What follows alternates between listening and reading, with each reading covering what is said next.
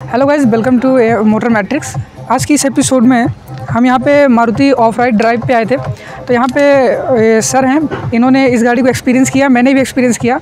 तो सर के एक्सपीरियंसेस से हम जानेंगे कि उन्हें ये गाड़ी कैसी लगी। और एक चीज़ और बता दूँ मैं आपको कि सर के पास ऑलरेडी एक फोर्स गुरखा है।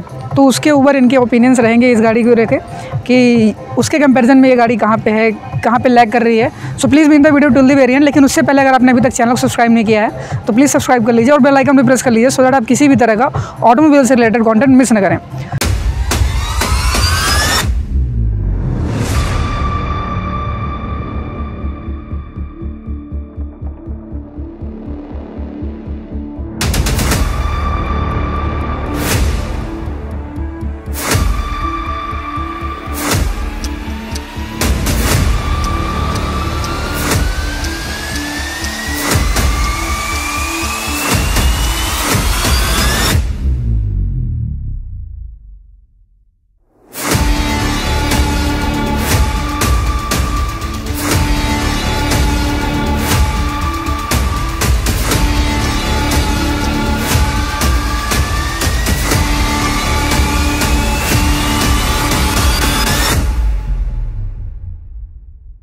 तो ओके सर मैं सबसे पहले चाहूँगा कि आप अपना एक क्विक इंट्रोडक्शन दे दीजिए जिससे जो हमारे व्यूवर्स हैं ना वो रिलेट कर पाएँ आपको। देखिए मेरा नाम प्रखर साहू है और मैं पिछले डेढ़ साल से फोर्स गुरखा चला रहा हूँ और इंदौर के आसपास काफ़ी जगह एक्सप्लोर करी है एंड नेक्सा ने पहली बार हमको इनवाइट करा है कि एक बार एक एक्सपीरियंस की जाए। सो हम लोग यहाँ आए बाकी फिर आपको शेयर करते हैं। ओके तो सबसे पहले जब यहाँ पे आने के बाद ये पूरा ट्रैक मैंने दो बार दो बार चलाया यहाँ पे गाड़ी है ना?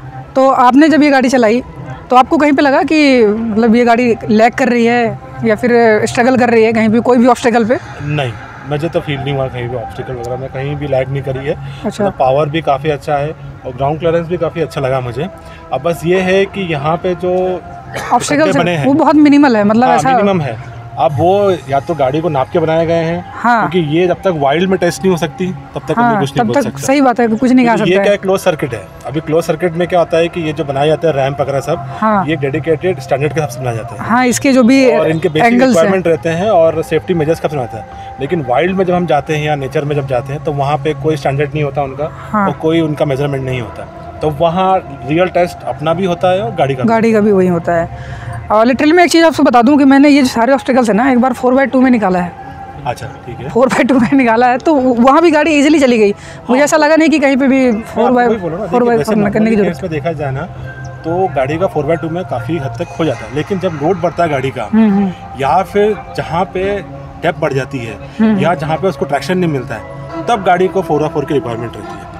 क्योंकि नॉर्मल कोर्स में फोर बाई टू में आपको इतना पावर मिल जाता है इतना टॉक रहता है कि आराम से गाड़ी क्रूज करके उस पर आराम से अगर नहीं हो तो क्रॉल करके भी निकल जाती है। बाकी रिक्वायरमेंट नहीं लगता। मैं आपको क्या बोला तो ट्रैक्शन रहेगा तब तक गाड़ी चलेगी। जहाँ ट्रैक्शन उसने लूज़ करेगा ना तो वो गाड़ी को फोर बाई फोर का रिक्वायरमेंट बन जाता है। ओके तो आपने जैसे फोर्स गुर का काफ़ी एक्सपीरियंस कर लिया है। तो उसके ओवर में भी आपको ड्राइव करने पे कैसा लगा? देखिए सबसे पहले तो एक तो पेट्रोल इंजन है। हाँ। तो साइलेंट गाड़ी है। हाँ साइलेंट पड़ रहा है कि गाड़ी स्टार्ट है बंद है। ये चीज़ मेरे साथ भी हुई पता है क्या हुआ? में क्या है कि आपको वाइब्रेशन फील होता है और इंजन का आवाज़ भी आता है। हाँ तो वो वो तो फील्स लाइक अ ट्रक मतलब कि आप कोई ट्रक चला रहे है। आप ऊँचा बैठते हो गाड़ी के अंदर। ऊँचा बैठते हैं। प्लस इसका सीटिंग थोड़ा लो है लो है। बहुत लो है। बट ठीक है वो गाड़ी के हिसाब से सही है। हाँ। बाकी कंपैरिजन में देखा जाए तो इसका थोड़ा सा छोटी है। क्योंकि मैं थोड़ा बल्कि हूँ तो हाँ। सीट भी मेरे को थोड़ा टाइट लगा। हाँ, क्योंकि हाँ। का क्या सीट बड़ा है और मैं आराम से उसका क्या पोजीशन काफ़ी ऊँचा है। तो आपको आसपास के यानी यहाँ से लेके यहाँ तक का सराउंडिंग पूरा दिखता है। इसमें नहीं दिखा था। अच्छा। और बोनट भी आपका काफ़ी रहता है ऊँचा है तो आपको दिखता है। विजिबिलिटी आपकी काफ़ी अच्छी रहती है उसमें। हाँ। बाकी इससे विजिबिलिटी कम लगी मुझे।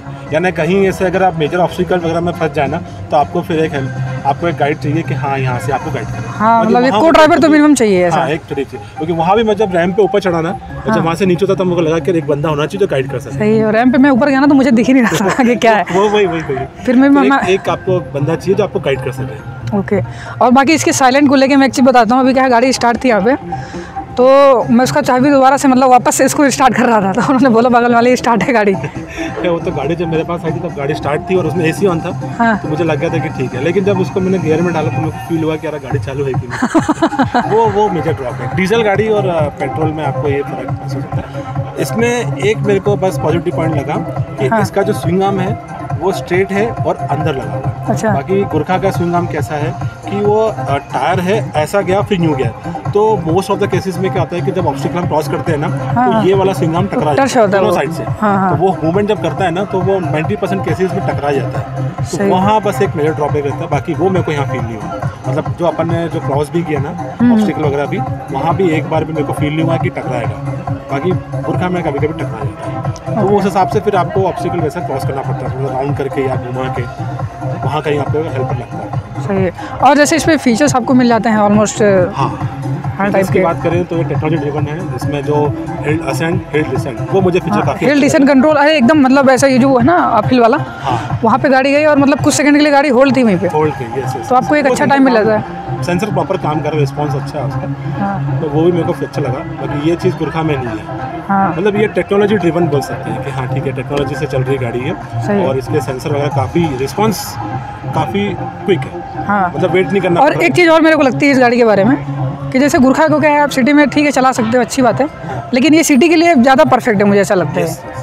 एक्चुअली देखिए प्रॉब्लम क्या होता है कि एक तो उसका हाइट बहुत ज़्यादा हम्म। है तो इंदौर के जितने भी मॉल है ना वहाँ पे अंडरग्राउंड बेसमेंट पार्किंग में तो गाड़ी जा ही नहीं सकती। हाँ हाँ हाँ। फिनिक्स मॉल भी आपका हो गया और ऊपर से आपने वो ऊपर एक्सेसरीज वगैरह लगा के रखी है उस पर ना तो वो भी उसमें नहीं घुस। स्नॉर्कल एक कैरियर तो वो हो जाता है फिर दूसरा क्या बल्कि बहुत है। गाड़ी बड़ी है बल्कि है तो थोड़ा डर भी लगता है। हम्म। तो इसलिए मैं अवॉइड करता हूँ कि सिटी में से कम चलाएँ। सही है। और कंफर्ट वाइज गाड़ी कैसी लगी आपको? ये सारी चीज़ें छोड़ देते हैं इसमें तो। कंफर्ट बहुत अच्छी थी। आपने इसकी सारी लोग को एक्सपीरियंस किया है? ड्राइवर और फिर पीछे रियर सीट वगैरह? ये तो मुझे अच्छी लगी है। पीछे थोड़ा सा लगा मुझे कि पेट दब रहा है। मतलब मेरा हाइट रहता है मेरा पेट रहता है। हाँ, हाँ। तो मेरे हिसाब से थोड़ा सा अनकंफर्टेबल है। लॉन्ग रूट्स पे आपको दिक्कत आएगी तो वैसे ये था आज का हमारा road review of Maruti Jimny.